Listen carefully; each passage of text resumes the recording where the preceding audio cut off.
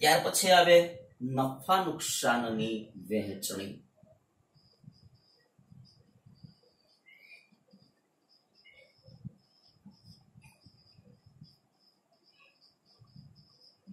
ખાસ બાબત, અહીંયા બધા ભાગીદારો નફો કમાવાના હેતુથી પેઢી ચાલુ કરતા હોય. તો પેઢીમાં નફો થાય, ક્યારેક નુકસાન પણ થાય. તો અહીંયા નફા નુકસાનની વેચણી ભાગીદારો કઈ રીતે કરશે? એનું પ્રમાણ નક્કી કરવામાં આવે. માની લો કે ત્રણ ભાગીદાર હોય, એ, બી અને સી. તો પેઢીમાં જે નફો થાય, એ નફો એ લોકો નક્કી કરે કે ત્રણ જેમ બે જેમ એક.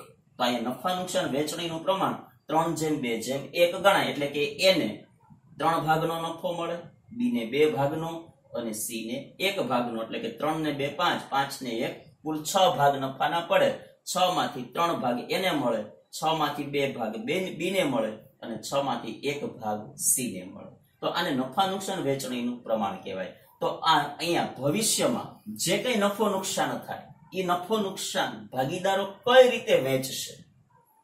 એનો ઉલ્લેખ આ કરારનામાની અંદર કરેલો હોવો જોઈએ. તો એ કરાર મુજબ અહીંયા ભાગીદારો નફા નુકસાનની વેચણી છે એ કરશે. પણ ફરી પાછો માની લ્યો કે અહીંયા ભાગીદારો નફા નુકસાનની વેચણી કઈ રીતે કરશે? એવું કરારનામામાં કોઈ ઉલ્લેખ કરેલ નથી. જો કરારનામામાં ઉલ્લેખ ન હોય, તો ભાગીદારો સરખા પ્રમાણમાં નફો નુકસાન વેચશે. ફરી પાછો વિકલ્પ પૂછાય કે જો કરારનામાની અંદર નફા નુકસાન વેચણી અંગેનો ઉલ્લેખ કરેલ ન હોય તો ભાગીદારો કયા પ્રમાણમાં નફો નુકસાન વેચશે?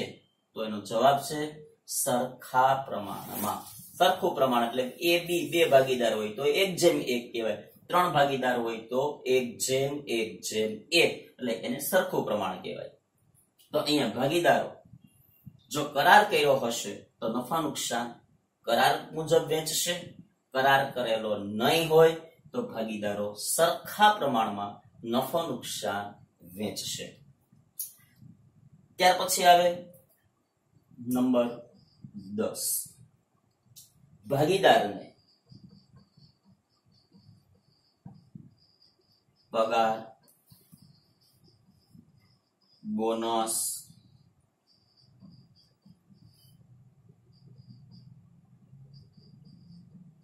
મહેનતાણું વગેરે.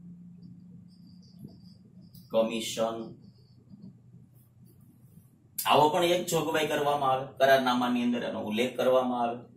કારણ કે એ બધા ભાગીદારો છે પેઢી નહીં ચલાવે. કોઈ સક્રિય ભાગીદાર પેઢી સાથે જે રોજબરોજ સંકળાયેલો હશે એ પેઢીનું સંચાલન કરશે. જો કોઈ ભાગીદાર છે એ પેઢીનું સંચાલન કરે, તો સ્વાભાવિક છે કે એને સવારે પેઢી ઉપર આવવાનું, પેઢી શરૂ ધંધો ખોલવાનો સાંજે ધંધો બંધ કરવાનો. એટલે એ ભાગીદાર સતત પેઢી સાથે સક્રિય હશે. એની સાથે સંકળાયેલો હશે. તો બાકીના ભાગીદારો છે એ પેઢી ઉપર આવશે, પણ એ કલાક, બે કલાક એનું કામ હશે, ક્યાં સુધી રોકાશે, ફરી પાછા એ જતા રહેશે. એટલે બાકીના ભાગીદારો છે એ અન્ય જગ્યાએથી નહીં નાણાં મેળવશે. પણ જ્યારે જે સક્રિય ભાગીદાર છે એ અન્ય જગ્યાએ કમાવા જઈ શકશે નહીં. એટલે અહીંયા જે પેઢીનું સંચાલન કરતો હશે એ ભાગીદારને પગાર, બોનસ, કમિશન, મહેનતાણું આપવું કે ન આપવું, એનો ઉલ્લેખ અહીંયા કરવામાં આવે છે કે ભાઈ જે પેઢીનું સંચાલન કરતો હશે એ ભાગીદારને જો આપણે એને પગાર આપવો છે, તો મહિને પગાર આપો કે વાર્ષિક પગાર આપો, જે તમારે નક્કી કરવું હોય એ પ્રમાણે, તો એને પગાર કેટલો આપવો? તમારે એને વર્ષ દરમિયાન કોઈ બોનસ આપવું હોય, તો બોનસ કેટલા રૂપિયા આપવું? તમારે એને કોઈ મહેનતાણું આપવું હોય કે કમિશન આપવું હોય, તો એ કેટલા રૂપિયા આપવું? એ તમારે કરારનામાની અંદર જોગવાઈ કરવી ફરજિયાત છે. માની લો કે કોઈ ભાગીદારને પગાર બોનસ કમિશન કે મહેનતાણું આપવું, એવો કોઈ તમે કરારનામાની અંદર ઉલ્લેખ કરેલો નથી. જો તમે ઉલ્લેખ કરેલો ન હોય, તો અહીંયા ભાગીદારને પગારે નહીં મળે, બોનસ પણ નહીં મળે, મહેનતાણું પણ નહીં મળે અને કમિશન પણ નહીં મળે. જો કરારમાં, કરારનામાની અંદર ઉલ્લેખ કરેલો હશે કે ભાગીદારને પગાર, બોનસ, મહેનતાણું, કમિશન ચૂકવવામાં આવશે તો જ ચૂકવાશે. જો કરારનામાની અંદર ઉલ્લેખ કરેલો નહીં હોય, તો એને પગાર, બોનસ, કમિશન, મહેનતાણું આમાંથી કોઈ વિગત એને મળશે નહીં. આમાંથી કોઈ પણ એક પણ રૂપિયો એને આ બાબતમાં મળશે નહીં.